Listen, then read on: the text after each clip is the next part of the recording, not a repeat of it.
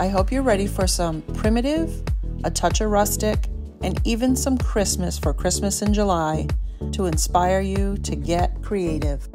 Hello, my crafty loving friends. Welcome to Repurposed My Way. I'm Shelly. Let's get started with some crafting. I got this cool paddle from my local transfer station on the free pile, and it's a wooden spoon of some sort. Uh, don't really know what it's for. I don't really know what the little uh, letters at the top are for, but it looks like some kind of a stir or a paddle or something, and it's pretty yucky. So I cleaned it up the best that I could, sanded it down, took off the leather uh, handle on it, and I'm just showing you here that it has kind of a back and a front. It's tapered in the back. So I'm going to paint it all over with this black Waverly paint. And we're going to use the front, the flat part for the front.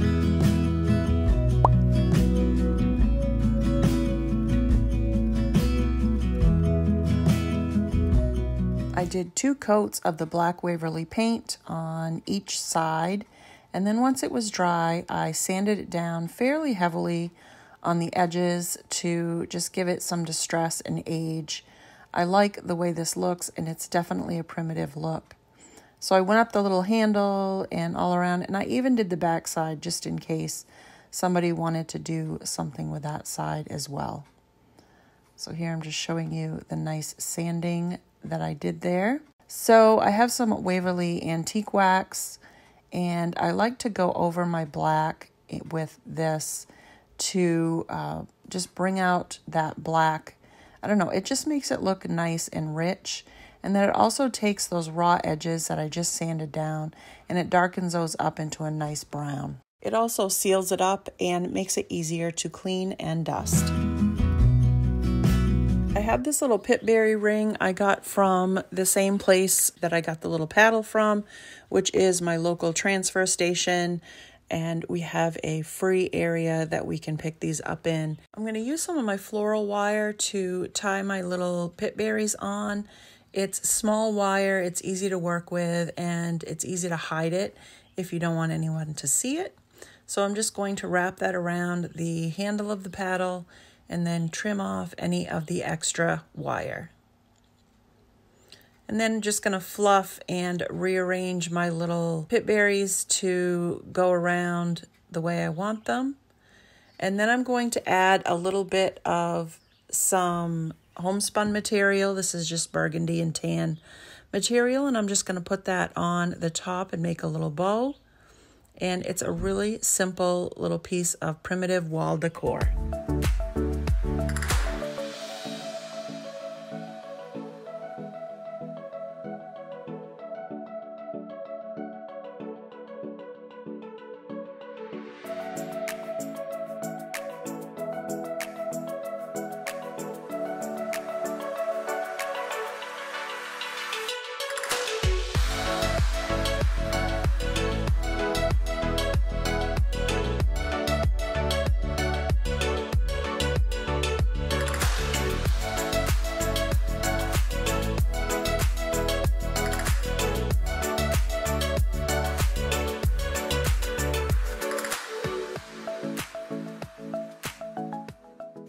Basket at the free pile at my transfer station. I'm going to try not to call it my dump anymore um, because it is a transfer station.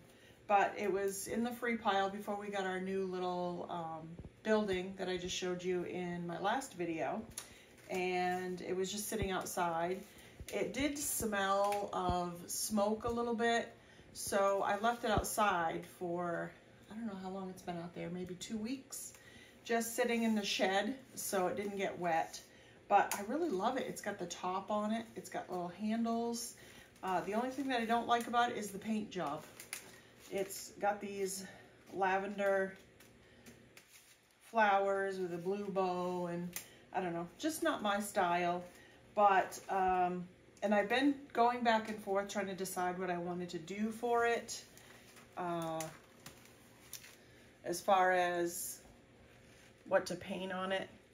And I got this piece of material the other day And I was wondering if maybe it would fit right down here to give it a little accent of something. So let me show you what that looks like. So I don't know what this goes to, part of a ribbon of some sort, but I picked it up at a flea market place and it was next to nothing for a price. But I love the writing on it and the black, it's black writing and then it's got like brown, I guess it's kind of a brown, burgundy color writing in the background. And it's just, it's not very wide or, yeah, it's not very wide, but I've got a nice, it's a nice long piece. It's definitely, I don't know, 10 feet, maybe 8 feet. So it will definitely fit around the bottom of this basket. So what I was thinking was putting it down here and it fits perfect. Now these are slats and they move in and out of the basket part.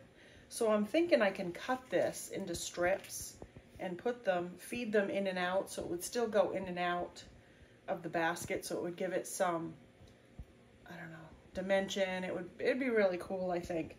But I don't like the color. It doesn't go well. They don't go well together. So I want to paint it. And I've been trying to decide if I want to do black and then put this on because the black writing. I think this would really pop on black. But I'm going to try to steer clear of that right now. I think what I'm going to do is do my ivory paint. This is from Tractor Supply. It's Restore um, Diamond Hard, I think it's called. Diamond Hard. This is ivory. So I think I'm going to do it in ivory and distress it back a little bit and then put on my dark stain wax. However, I showed you how I mix that up. If you haven't seen it, it's in the last video. Plus I have a short on it. Um, and so I think I'm going to do that. So it's still going to be a dark, moody, um, primitive rustic piece, but I think it's gonna be better than this. I mean, this is lovely, but this isn't my style. So I'm going to try and dress it up. So we're gonna paint this. So let's get started. So that was a demonstration on how to make a long story longer. I I don't know why I went on and on about that, but it's kind of like what's going on in my brain. I'm not quite sure what I want to do with this basket. I really have this strong urge to paint it black and then distress it back and add the brown uh, antique wax to it. And that's what I really wanted to do. But I wanted to try and do something a little different, give some different colors to this that would match that that uh, piece of material. It's kind of my inspiration material, so that's why I'm going with that. So I'm just going to paint two coats on this basket. Um, so, and I also, as I'm showing you here, I'm doing a little bit on the inside. I'm just doing one coat in there. Now, it's a beautiful day, so I thought I would take this outside. And while I was out there checking it, I had to show you guys my new additions. I have a mama that hatched out four little chicks. So they're out there feeding over by the coop. Just totally adorable. So I wanted to share that with you guys. I know this isn't a homestead page, but we are homestead. And I do actually have another channel. It's called Whiskey and Off Grid Whiskey and Sunshine. So if you're interested in checking out what we do around here, uh, you could check that channel out. I'll put a link down in the description for you. So once that was all dry, I had the two coats on there and it looks really good. I took some of my dark uh, wax that I have or dark stain. It's just antique wax, water, and some black paint mixed together. And I'll link that in the description on how I do that as well. I did a quick short on it. It's very simple. So I just put that in and then I'm wiping it back so that it kind of falls down in between the cracks and it just makes it look a little more aged and distressed. So this is the top. So I'm just going along and doing just a coat on there and you can definitely see the difference on how it colors it. Now I'm doing the same thing with the basket, of course, so that they will match. And I, so I'm brushing it on and then I'm going to wipe it back. Now, if you wanted to not do this part, you could skip this part and and not put on any of the dark wax. Just seal it, put your uh, material on, and be done with it. Uh, I just like the look of the many different layers that you can put on a basket. The reeds of the basket just make it look so uh, interesting and cool when you have different depths. So I also did the little strips down in the middle just because when I weave that material in and out, um, it's going to show. So now I'm showing you that I'm not really big on just the black. I'm putting the material up there so you can kind of see that, I don't know, I'm just not happy with it. So I'm going to take some antique wax just straight out of the bottle. So this is going to have a brownish hue to it. And we're going to add another dimension to this basket. So I'm going to do the same thing as I did with the black stain. I'm brushing it on and then I'm going to wipe it back.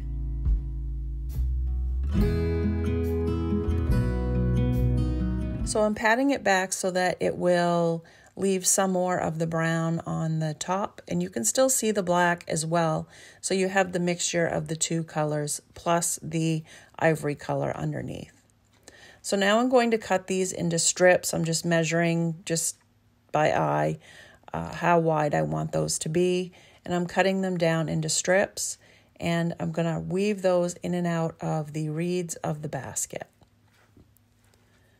It goes pretty easy. I usually use like a safety pin, but these reeds are very tight. So I'm just using a straight blade screwdriver and pushing the end in there and I go all the way around. Now this takes four strips, so it's pretty goes pretty quickly and I get those through there.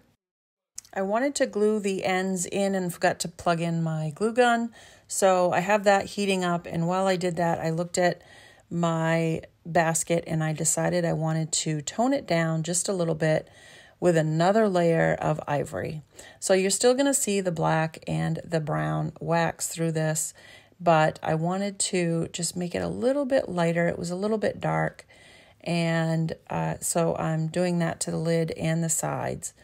So it's just a light dry brush that I'm doing over it, and it it definitely lightens that up a little bit. And then here on the basket, as you can see, I did uh, wipe it just a little uh, back so that you could still see the colors. Now that my heat, my glue gun, not my heat gun, my glue gun is uh, all heated up, I'm just gluing in those ends. I tried to start and stop in the same place so that we could have one spot that was all the same where it stopped and ended.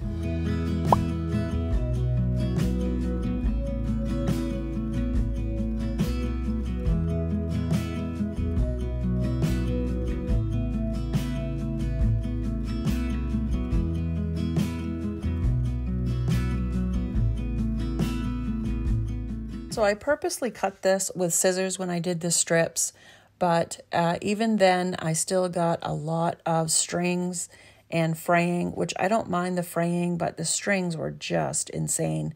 So I decided to take my lighter and just go over it with the lighter and burn up a few of those little strings that were sticking out. And then uh, it just they just rolled off really nicely once they were burned. And that just makes the edges a little bit seared. It kind of gives it another cool look and also keeps it from shedding and uh, coming apart even more. So you have to be very careful. Don't leave it on there too long. You don't want the basket to go up in flames, but uh, it worked pretty nice and cleaned up those edges. Now, I was thinking I was done with the basket, but then I got looking at it and I had some material that was uh, just a basic tan color with some of the ivory color. And I thought it would look really good on the inside of this basket. And it looks to me like it's kind of a uh, laundry basket or a blanket basket. So I thought it would look really nice with a liner in it. Plus, when you do the stain on the outside, you can't help but get that stain to come through the reeds and it didn't look very pretty. So I had this ton of material and so I cut it down so that it would fit in this basket and then I glued it to the inside rim and then tucked it in to the basket to give it a nice liner. Now once I did that I had to finish off the edge and I just folded it over and then glued it underneath the edge.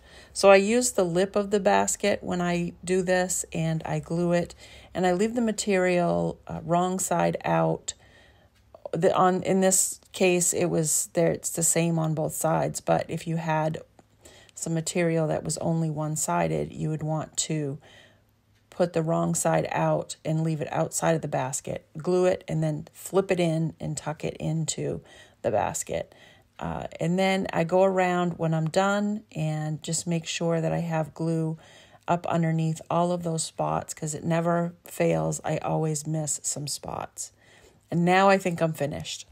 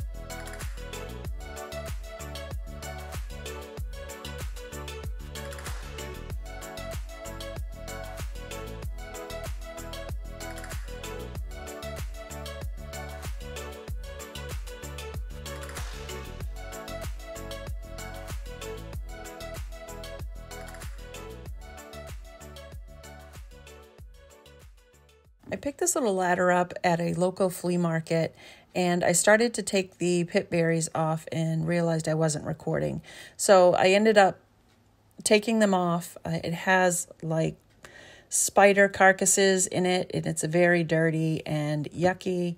The only thing worth saving was the little rusty stars, which I cut off and I saved those, but I threw the rest of the pip berries away. They were just yucky.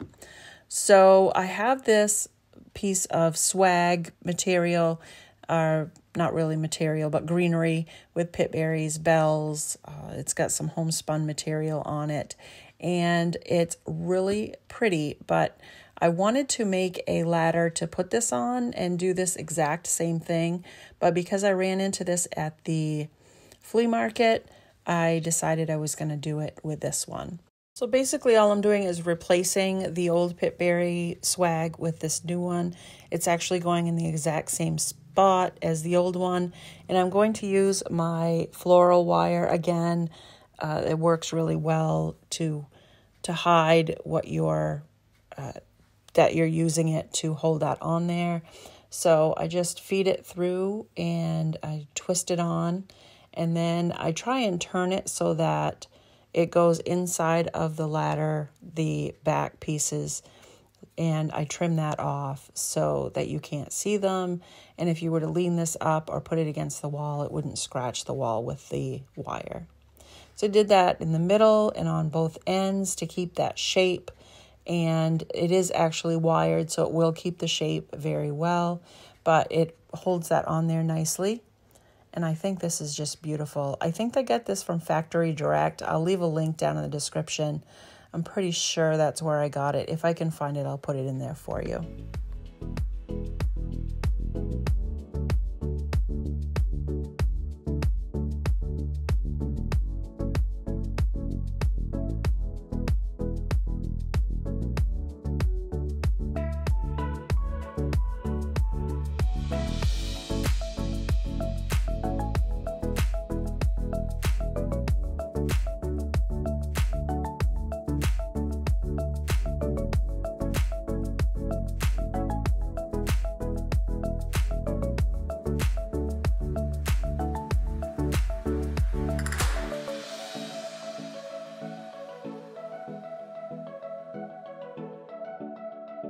I hope you find these pieces inspiring and make you want to do your own projects. And if you haven't already, please like, share, and subscribe. Have a great day.